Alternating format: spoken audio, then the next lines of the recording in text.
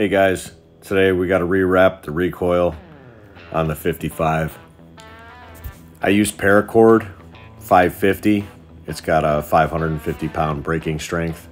I use this uh, instead of the regular recoil rope that you can buy because I have good luck with it.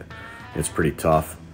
Uh, once I get my length cut, I uh, melt the ends with a lighter just to keep all the strands together. And I'll start with the spool, fishing it down through the hole, picking it out with a screwdriver, grabbing it with a pair of pliers, and seating up my knot. Once I got that knot seated, I'll uh, feed it through the recoil housing. Then I can put it into my pull handle. Once I have that all seated down, then it's just a matter of rewrapping the uh, cord around the spool. This is how I tie the knot. Just wrap it around twice. Grab a pair of pliers and then pull it up tight. Make sure it's good and uh, secure so it doesn't come undone on you.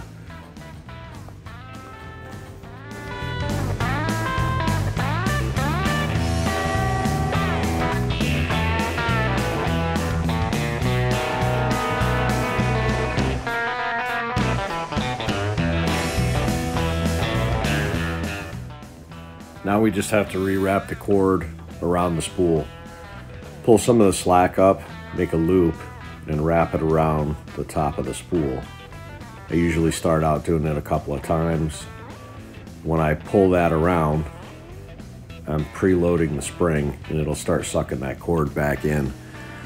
Usually takes a few times, pull up another slack, a loop, wrap it around,